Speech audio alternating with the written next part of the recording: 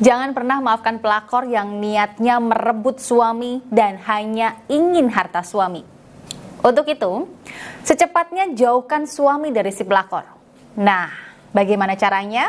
Tonton video saya ini sampai selesai ya, karena saya akan kasih tahu Bunda tentang cara elegan untuk menjauhkan suami dari si pelakor.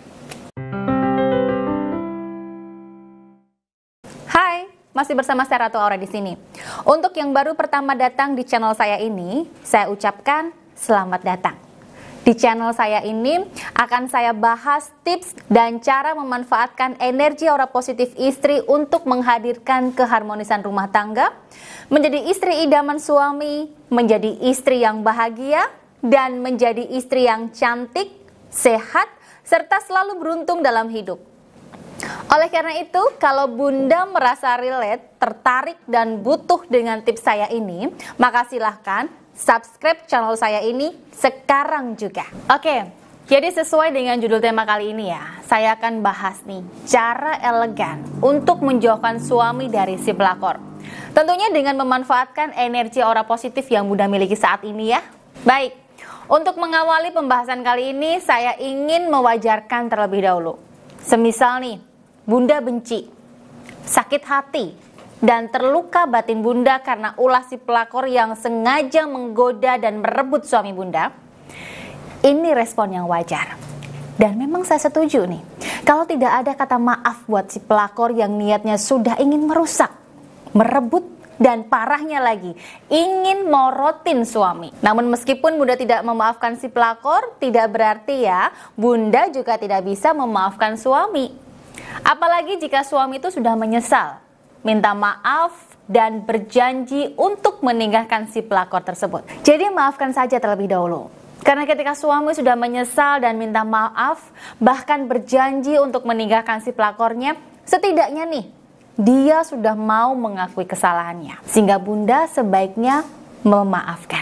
Ya meskipun saya tahu ya, rasa sakit hati, marah, dan terluka itu masih ada. Nah, agar ikrar penyesalan suami itu benar-benar masuk dalam alam jiwa suami, sehingga jiwanya akan meronta jika melanggar ikrar ini, maka saya punya tips nih. Tipsnya yaitu minta suami untuk mengulang ikrar penyesalan atau permohonan maafnya itu sebanyak tiga kali. Jadi misalnya nih, suami itu bilang, Bunda, aku minta maaf dan menyesal sudah selingkuh.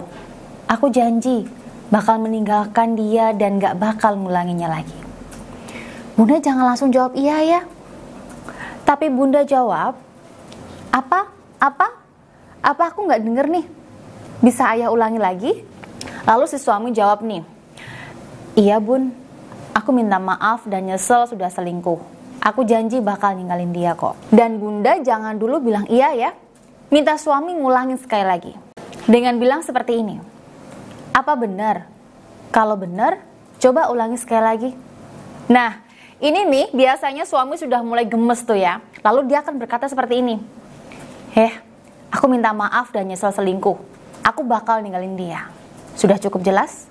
Nah, baru setelah tiga kali pernyataan tersebut, Bunda baru boleh bilang, oke, okay, baik, saya maafkan ayah dan semoga ayah selalu ingat dengan ikrar ayah ini. Terus apakah suami akan selalu ingat dengan ikrarnya ini?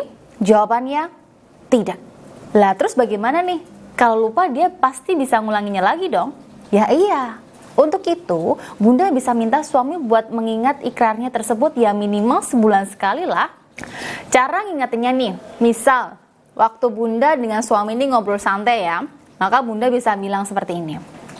Ya, omong-omong nih, satu bulan kemarin itu masih ingat kan ikrarmu sama aku? Suami pasti jawab, iya, aku janji nggak selingkuh lagi. Nah, kalau dia sudah ingat, mudah bisa kasih nih apresiasi dengan ucapan terima kasih, pelukan, ciuman, atau apa pun yang bikin suami senang. Nah, dengan begitu, ikrar yang pernah diucapkan akan semakin masuk lebih dalam lagi pada alam jiwa suami bunda.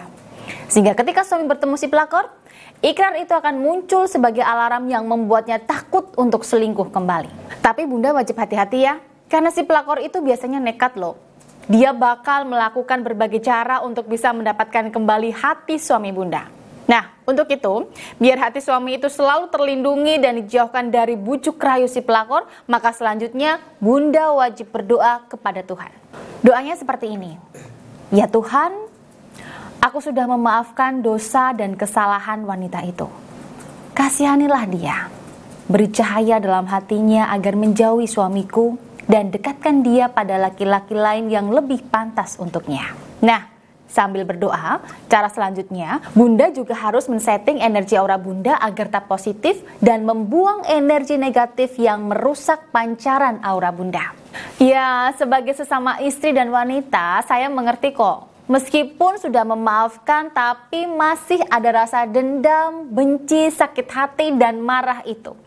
Terutama saat kita membayangkan atau bertemu dengan si pelakor. Nah, rasa-rasa inilah yang bisa menghadirkan energi negatif dalam diri Bunda loh. Untuk itu, harus segera dihilangkan. Cara menghilangkannya bagaimana nih? Caranya sangat mudah. Bunda pejamkan kedua mata Bunda, kemudian berniat atas nama Tuhan, saya izinkan energi auraku terhubung dengan energi aura dari Ratu Aura untuk membuang energi negatif dalam diriku. Setelah berniat, kemudian Bunda bayangkan nih, atau hadirkan dalam pikiran Bunda ada sebuah pantai yang ombaknya sangat besar. Kemudian, setelah itu Bunda hadirkan si pelakor di tepi pantai tersebut. Hadirkan senyata mungkin. Nah, sekarang dorong si pelakor itu ke laut. Semakin jauh Bunda mendorong si pelakor, maka semakin lega perasaan Bunda. Dorong terus sejauh mungkin sampai Bunda tidak bisa melihat si pelakor tersebut dan seiring Bunda mendorong jauh si pelakor tersebut, maka rasa benci, marah, sakit hati atau apa pun perasaan yang menyebabkan energi negatif itu menghilang dari diri Bunda. Sehingga Bunda jauh lebih lega, jauh lebih tenang, dan jauh lebih damai. Setelah tenang, Bunda niatkan untuk membuka mata dan mulai sekarang, energi-energi negatif itu menghilang dari diri Bunda. Jadi begitu ya caranya.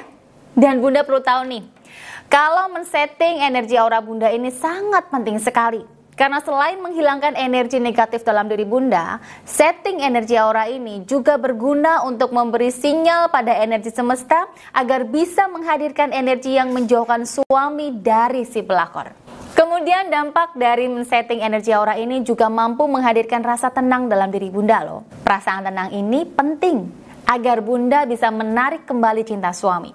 Dan efek dari perasaan tenang ini mampu membuat sikap Bunda jadi lebih baik. Bunda jadi mudah tersenyum dan yang terpenting pancaran energi aura Bunda juga lebih positif sehingga mampu membuat suami itu lebih nyaman, lebih bahagia dan lebih tenang ketika dekat dengan Bunda. Dengan begitu, suami semakin sayang sama Bunda dan jauh dari si pelakor. Oke, jadi begitu ya cara elegan untuk menjauhkan suami dari si pelakor. Saya kira sudah cukup jelas dan mudah untuk dipraktekkan. Silahkan dipraktekkan untuk Bunda yang butuh dan semoga dengan cara ini rumah tangga Bunda kembali bahagia, Bunda juga jadi istri yang semakin bahagia. Amin. Baik, saya rasa sudah cukup untuk video saya kali ini. Sampai berjumpa lagi di video saya selanjutnya.